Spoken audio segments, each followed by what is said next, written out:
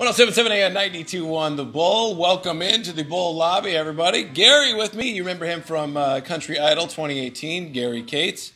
And he's been doing this. Sounded fantastic, Country Idol. If you didn't make it out, you really missed out. But we wanted to start something new. So we're starting Bull Sessions right here in the lobby. So Gary came by to uh, jam a few things and, and talk about what's going on. So, Gary, tell us a little bit about yourself. Um, I'm an old guy. I'm 44 years old, and uh, I just like playing country music, playing the guitar, and uh, so I've been doing some gigs uh, mm-hmm. around town, um, Peoria area, Bloomington area, um, and then some places in between. Sure. And um, that's about it. So what do you got going on next? Um, the next outing is October 25th. It'll be at Cadillac Jacks um, from 5:30 to 7:30, doing a little happy hour. Awesome, awesome. Now, what do you what do you treat us to during the happy hours at Cadillac Jacks?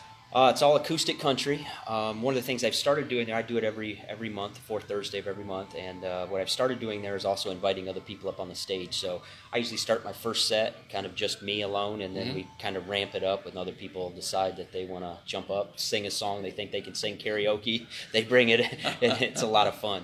People have a good time. Awesome. You know, tell us tell us where your sources sure. are, where your roots are. Um, well, I like the I like the blues. Um, I like country. I like classic rock. If you blend those three together, that's kind of a lot of the stuff that I do.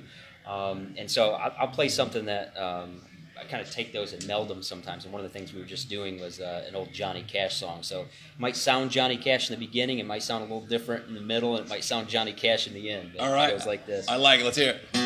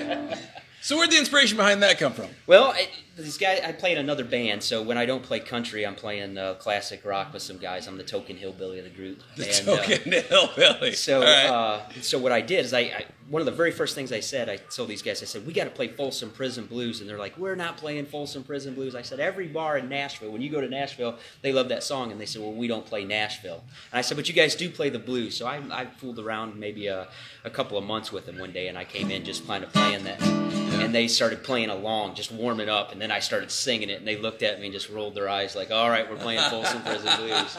So uh, that's how that works. So you do uh, country and classic rock. Got right. a, uh, a, wide variety of, of, you know influences there. Right, right. And um, so most of the country stuff, I one of the big influences uh, for country has been Garth Brooks. So oh sure, um, I'll play a I'll play a little bit of Garth Brooks. All right.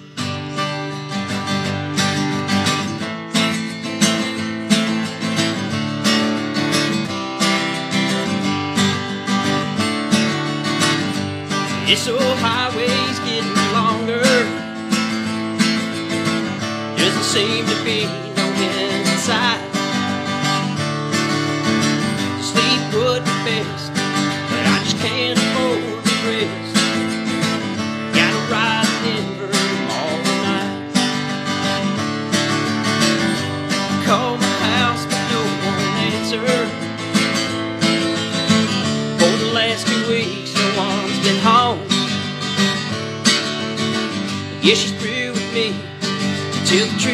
Just can't see what's kept a woman holding on this long.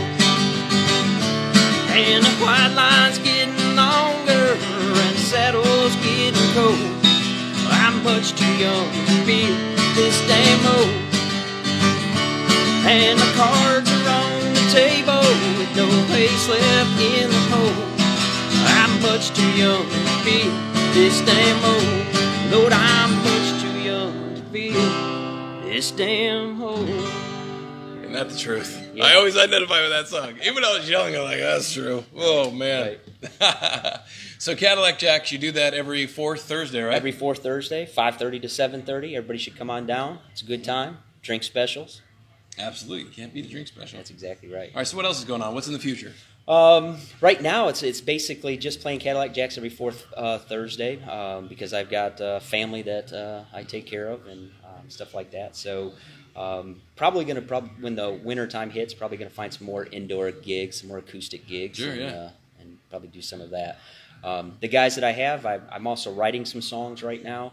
Um, and I'd like the guys that I'm playing in the classic rock band to have rights to record them with me, and we're probably Sure. going to get our own little recording studio set up in the basement and record some of those. And Awesome. So, you have originals then, I too? do have a couple originals. You want to knock an original out for us? I'll, I'll, Let's hear it. I'll, I'll play part of one. All right. Well, I got my guitar about the time I turned 15. I bought it from a pawn shop store, and I couldn't afford new strings. Played it every night till my fingers bleed. And I played every nightclub from New York down to New Orleans. And every honky tonk and ballroom floor in Nashville,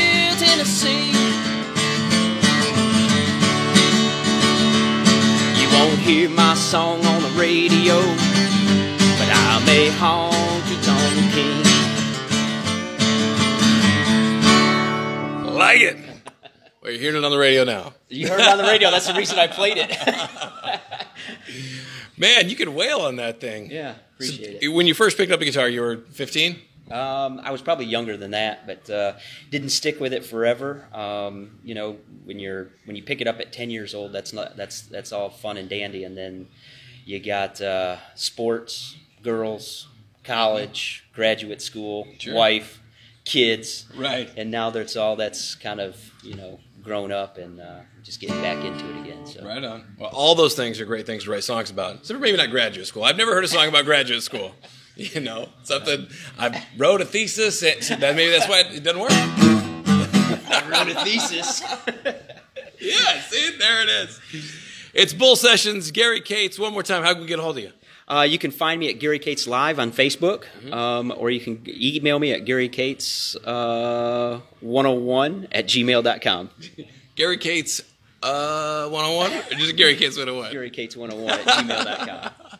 Perfect. And uh, we'll love to have you back sometimes. Next year, you got something else lined up with, uh, you know, Cadillac Jacks on Thursdays, the fourth Thursday. Yep.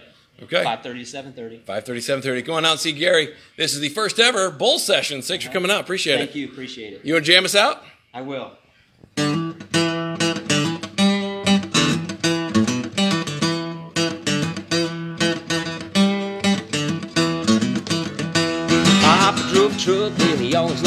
You know he drove Mama crazy being a trucker's wife. All she couldn't handle was being alone. I guess she needed more to hold than just a telephone. Papa called Mama each and every night just to ask her how she was and if the kids were alright. Mama would wait for the call to come in and then Daddy hang up. She was gonna. Mama was a looker, Lord, how she shine. Papa was a good enough, jealous kind. Papa loved Mama, Mama loved me.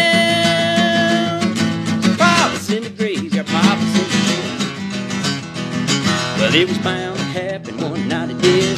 Papa came home and it was just us kids. He had a dozen roses and a bottle of wine. If he was looking too surprised, as he was doing fine. I heard him cry for Mama up and down the hall, and I heard a bottle break against the bedroom wall. That old diesel engine made an eerie sound when Papa fired it up and hit it into town. Yeah, the picture in the paper showed the scenery well. Papa's rig was buried in the local motel. The guest clerk said he saw it all real clear. He never hit the brakes and he was shifting gears. Yeah, Mama was a looker, Lord, how she shine. Papa was a good enough, jealous kind. Papa loved loved mama, mama loved me. Mama's in the graveyard, papa's in the pen. Yeah, mama's in the graveyard, papa's in the pen. Yeah, Mom's in the graveyard, papa's in the pen. Love it. See y'all next time.